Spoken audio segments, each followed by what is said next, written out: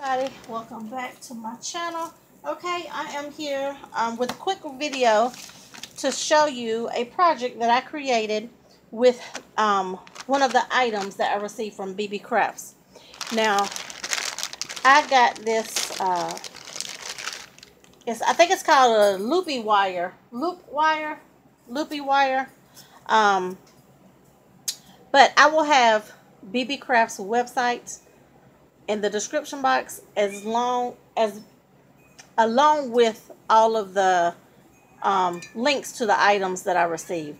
Now this one is, like I said, I believe it's called the loop wire, loopy wire. But this is for making the wraparound bracelets because it's kind of like a, y'all remember those Slinkies?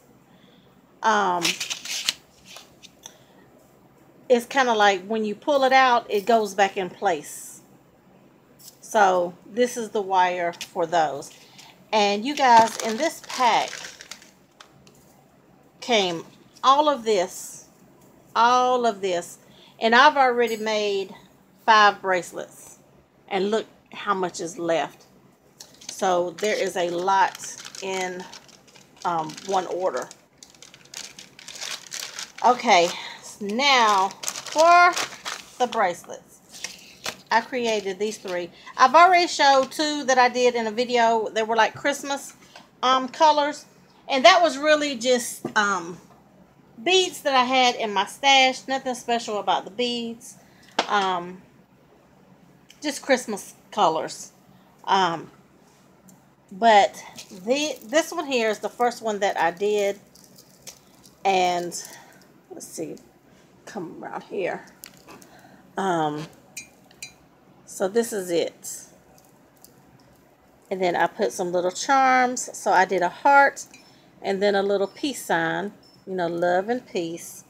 And then over here, I just put um, a smaller bead out of the strands.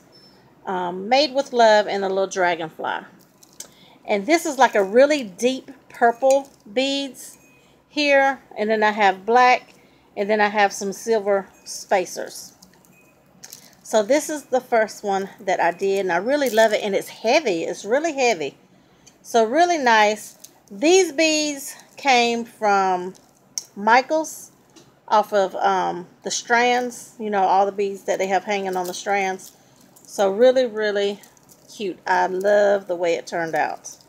So I really love that one. This one, I, I like it too. Now you can see this one is a little bit more narrow because what I did, I tried to follow instructions from Natalie who has put some bling on it. She did a tutorial on one of these beads and I remember her saying, you know, you do that, then you do one, two, three, and then your last one. Um, so this is a wider one. Love that, really chunky. And this one is a little thinner one. So I just did this one, one, two, and then I did the end side. These are beads from my stash, but I, y'all know I love pink, so it just makes it pretty all together. So over here, I just have a little um, bead dangle there off the ends. And then over here, I just have a like a frosted heart. And then, what do you call that hand right there? Um, oh, I can't think of it. But it's really cute. So, I'm loving that one there. Now, this one is... I seen some bracelets when I was at Hobby Lobby. And they were on clearance. And it was just like a... Uh, two strands bracelet so what I did is I had purchased these little pearl um, type beads and these little gold spacers. So what I did is I took the bracelet apart. I used the beads and the, these that I purchased and the spacers. And I just um, created this one. So here is just a few little beads there and then the bracelet actually came with that little tassel on the end. And some little beads there. So that is that one. It's really cute. Little neutral colors, but it's really nice.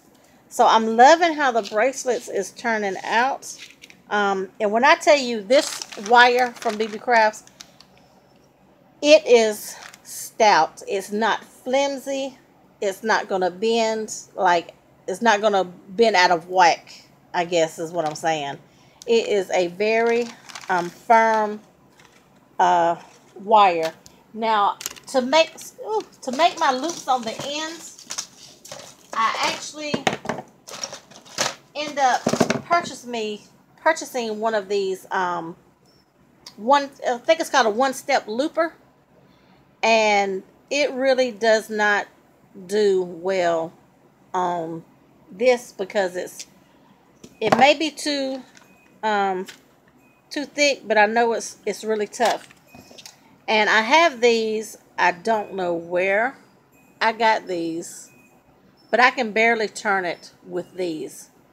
So I don't know if anybody can tell me a good one of these that's the round part um, a good stout brand that is good for um, like tougher wire more sturdy wire um, I guess would be a better term but let me know in the um, comments please but I love it being so stout because you don't have to worry about your bracelets, um, you know, bending out of shape. So that is my first project share for the um, BeeBeeCrafts. I thank you all for watching. And let me know in the description box. I'm just curious. And I really want to know um, which, which, do you like the thicker style bracelet like this or the more slimmer one? So please let me know in the comments below and let me know which one you like best. The purple, the neutral, or the pink. All right. Thank you all for watching, and I will see you all in the next video.